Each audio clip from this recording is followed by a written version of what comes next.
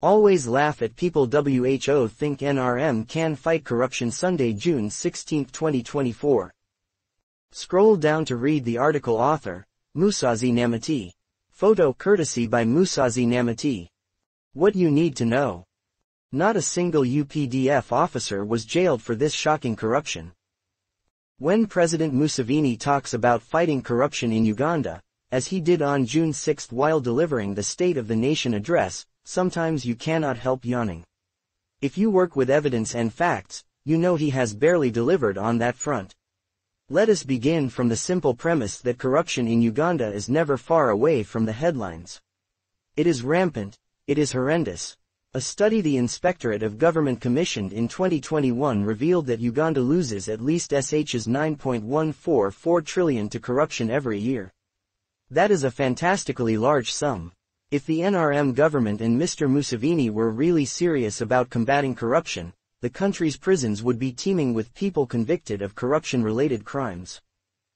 But the truth is that few people in Uganda get jailed for high-level corruption. In fact, political leaders accused of serious corruption are now being punished by foreign governments such as the UK and the US. How can we have too many cases of corruption but few people jailed for corruption? It is rare to find people in Uganda for whom life has become hell as a result of engaging in corruption.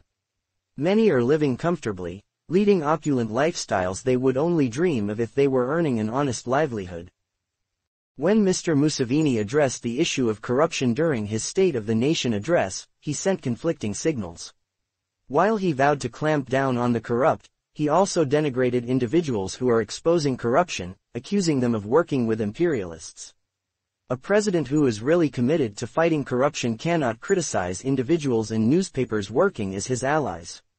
Never. As a reader named Salongo Makulu commented on Daily Monitor's Facebook page, the underscore Daily Monitor underscore is showing you president where things go wrong in your government so that you can correct them, but you take them as enemies. Underscore Monitor underscore is talking about corruption, bribery, embezzlement, and all the wrongdoings in your nearly 40-year government. Corruption in the NRM government can be traced back to the early 1990s. In December 1990, a man named Teddy Sseezi Cheeye, who was close to the NRM, launched a newsletter called Uganda Confidential and exposed high-level corruption in government departments for years. Few people went to prison, although Mr. Cheeye, who died in 2018 and had made his name by exposing corruption, was himself jailed for six years for misappropriating funds at an NGO he founded named the Uganda Center for Accountability. There has also been corruption in the army, where the president is the commander-in-chief. Retired Gen David Tinyefuza, now Sejusa, talks about it in a video clip I watched recently.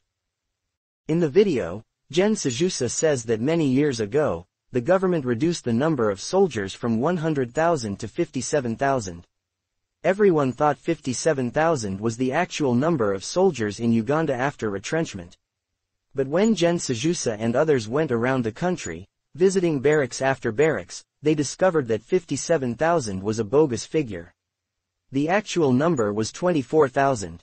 The rest, 33,000, were ghost soldiers and had been paid salaries for many years. Not a single UPDF officer was jailed for this shocking corruption.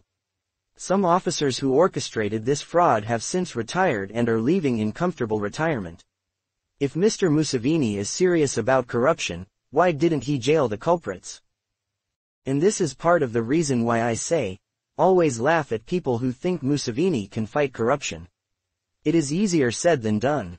Underscore Musaazi Namiti is a journalist and former Al Jazeera digital editor in charge of the Africa desk email protected at Kazbek underscore prime corruption.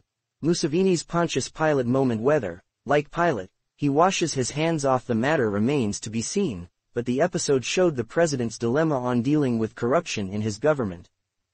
National June 7th. What if Museveni uses anti-corruption card? But looking back at his modus operandi, one would not think he can maintain one position, on any matter forever, especially if it is likely to cost him political support. The president says his government is ready to take tough action against corrupt officials whom he said have ignored his advice to desist from the practice. Corrupt people have now attracted our full attention. The corrupt are parasites that delay and undermine our transformation efforts.